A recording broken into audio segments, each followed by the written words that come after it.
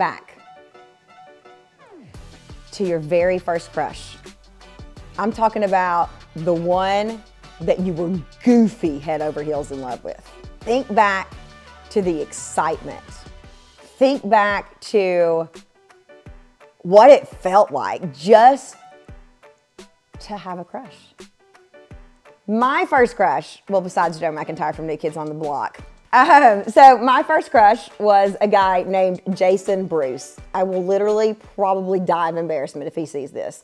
Now, what makes my first crush funny is that I was 12 and Jason Bruce was 17. Yes, he was a senior in high school and I was in the seventh grade. Uh, y'all may remember my mom taught at the high school, so I was all, taught French at the high school. So I was always at the high school. And Jason Bruce has the bluest eyes. I mean, they are Joe Mac color, y'all. Oh my Lord.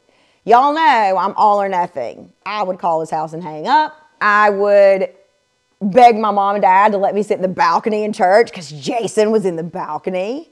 I would go to all the basketball games, baseball games. I would write his initials like in mustard on my hamburger. Oh my gosh. So Think back to that kind of crush. It was all or nothing, right? And it was exciting and it was fun. But that's kind of what a first crush is, right? You don't know how it's supposed to feel. You think, oh, this is the one. Everything from here on out will make more sense if you remember that madness. We spend a lot of time trying to find our match, right? And not even just our, our mate, but we spend a lot of time trying to find our match with friend groups. We spend a lot, I mean, I, have I've lived in 18 different houses, right? Or 18 different houses, and uh, eight, I've moved 18 different times. And so imagine trying to find a match and people to hang out with 18 different times. I mean, holy cow, at some point you're just like, I give up.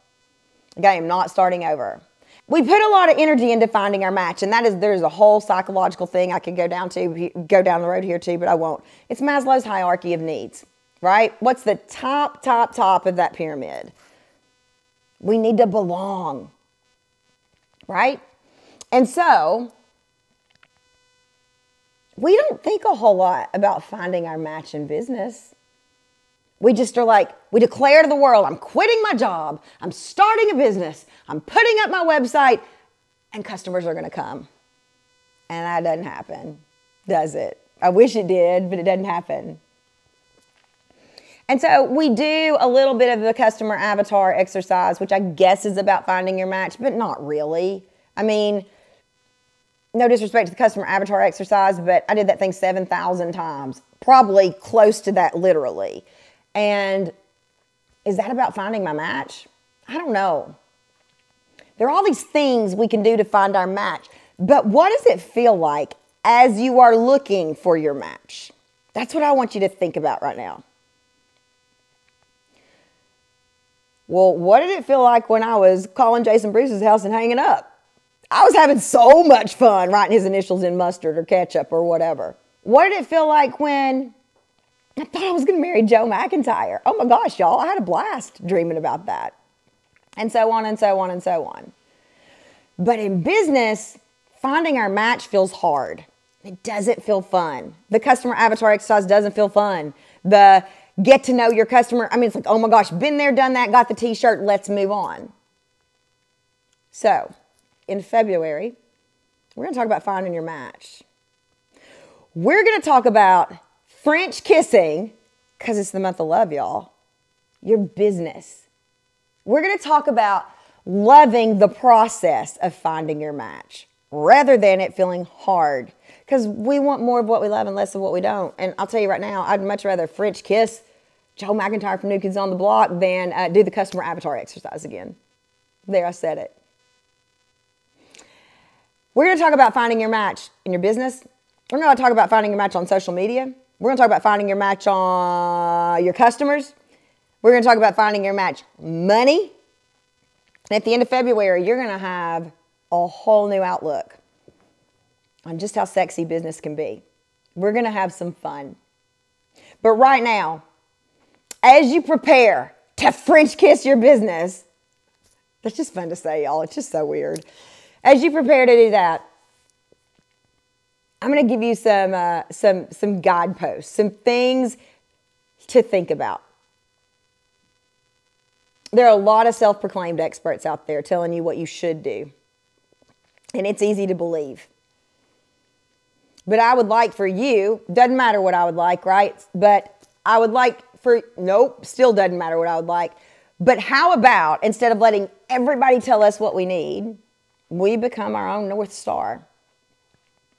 We use our guardrail to see do I really need this? Instead of going to a webinar where we're swearing not to buy anything, I'm not buying anything, I'm just going to the webinar. How about we seek out what we actually need? You don't need another course graveyard to go in the graveyard necessarily. Maybe you do. You don't necessarily need that, right?